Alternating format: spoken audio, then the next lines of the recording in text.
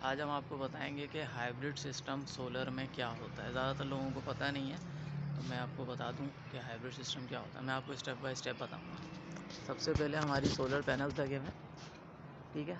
इनकी location perfect होना लाजमी है राइट एंगल इनका होना लाजमी है, ठीक है? ये हमारे परफेक्ट लोकेशन पे लगे हुए हैं। अब मैं आपको दिखाता हूँ हमारा हाइब्रिड सिस्टम होता क्या ये होता है हाइब्रिड इन्वर्टर हाइब्रिड इन्वर्टर का बेसिक जो होता है वो ये कि ये ऑन ग्रिड भी होता है ऑफ़ ग्रिड भी होता है और ये ऑफ़ ग्रिड के साथ नेट मीटिंग भी आप इसमें करा सकते हैं। तो ये इसका हाइब्रिड का फ़ायदा होता है। अब इसमें लगती क्या क्या चीज़ें हैं?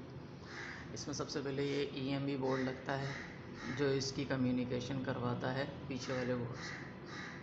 पीछे वाला बोर्ड जो है, इसका एनजीसी कहलाता है nano grid controller nano grid controller का काम ये है कि जो हाइब्रिड सिस्टम को मॉनिटर कर रहे होते हैं मतलब किसी भी कंपनी के हेड ऑफ़िस में तो ये उससे इसको सिस्टम को कम्युनिकेट करवाते हैं। और इसको पावर कहाँ से मिलती है? तो इसकी पावर मिलती है हमें।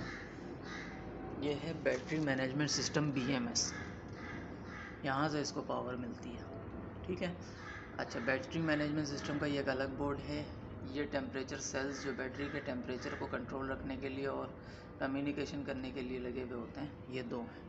ठीक है अब हमारे पास इसके अंदर एक लगा हुआ है रिले, जो ऑटोमेटिक कंट्रोल करता है। ये बैटरी ब्रेकर है।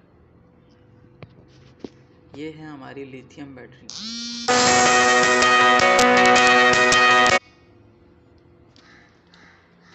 लिथियम बैटरी की जो होती है लाइफ ज़्यादा होती है। हमने लिथियम बैटरी को जो है सेल टू सेल ज्वाइन किया हुआ है। सीरीज़ बनाई हुई है। आपको ये शायद नज़र आएँगे अंदर से तो ये हमारा पूरा है हाइब्रिड सिस्टम अब इसको कंट्रोल कहाँ से करते हैं हम? इसको कंट्रोल करते हैं यहाँ से।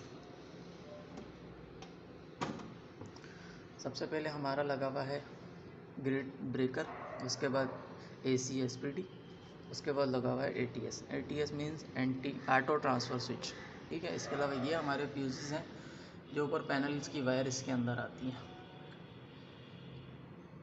ये फ्यूज़ जो हैं, इनमें भी D C S P D लगी हुई है। फाइनली आप लोगों को पता चल गया होगा कि हाइब्रिड सिस्टम हमारा किस तरह का होता है और हाइब्रिड सिस्टम वर्किंग कैसे करता है। वर्किंग हमारी इसकी सिंपलेस्ट बिल्कुल सिंपल है। ये हमारा इसमें टैबलेट लगा हुआ है जो हमें आगे कम्युनिकेट करवाता है। इन्वर्टर हमारा ऑन है। बाकी कुछ भी पूछना हो तो कमेंट सेक्शन में बताइएगा या अगर मतलब आप इसके बारे में जानना चाहते हो कि कितने का लगेगा, क्या तरीका कार होता है। तो वो भी आपको मतलब बता दिया जाएगा। दुआओं में याद रखिएगा। अल्लाह हाफिज़।